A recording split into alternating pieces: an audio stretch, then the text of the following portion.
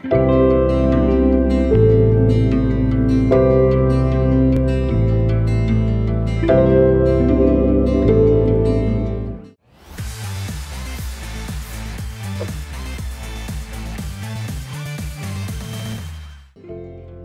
दिवस पर अवकाश नहीं, बल्कि स्थापना दिवस ही मनाया जाएगा।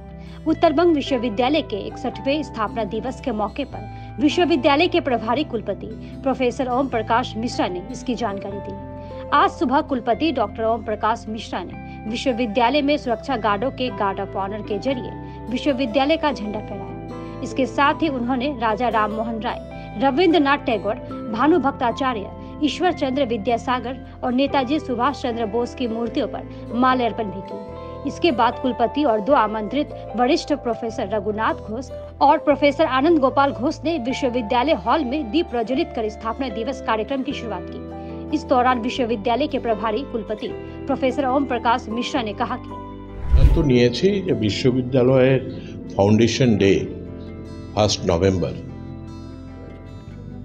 পালন করা হবে এবং প্রতি বছর পালন করা হবে এই দিন ছুটি দেওয়া হয় আমি প্রস্তাব রেখেছি যে আগামী বছর থেকে এটা ছুটি হিসেবে নয় বরঞ্চ ফাউন্ডেশন ডে কে আহ, পালন করবার জন্য আর কি আহ, ছুটিটা আমাদের রাখা উচিত হয়তো হবে না। এ বিষয়ে একটা সিদ্ধান্ত হবে।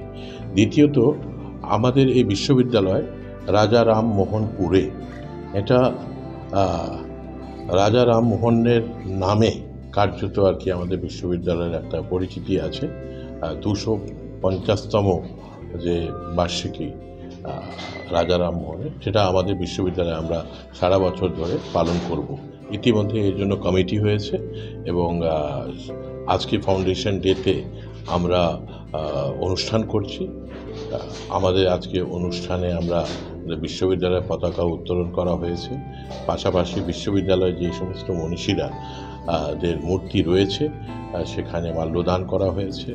রবীন্দ্রনাথের ঈশ্বরচন্দ্র বিদ্যাসাগরের, নেতাজি সুভাষ বোসের কবি ভানুমতি আর এই আজকে এই অনুষ্ঠান আমরা যেটা করছি তাতে দুইজন একজন আহ, দর্শন শাস্ত্রের প্রাক্তন অধ্যাপক এই বিশ্ববিদ্যালয়ে তার কাছ থেকে আমরা রাজা রামমোহন রয়ের দর্শন নিয়ে আর কি বক্তব্য রাখবার আয়োজন করেছিলাম আর পাশাপাশি এই বিশ্ববিদ্যালয়ের যে জার্নি সেটা নিয়ে আমাদেরই একজন অধ্যাপক রিটায়ার করেছেন আনন্দ গোপাল ঘোষ তিনি বলবেন আহ, বিবেকানন্দ মূর্তি বসানো হবে এবং দিনক্ষণ স্থিরীকৃত হয়েছে আপনাদেরকে যথাসময় আমি সবাই দায়িত্ব নিয়েছি তারপর একটা কাজ যাতে আমরা এগিয়ে নিয়ে যেতে পারি তার জন্য প্রচেষ্টা শুরু হয়েছে।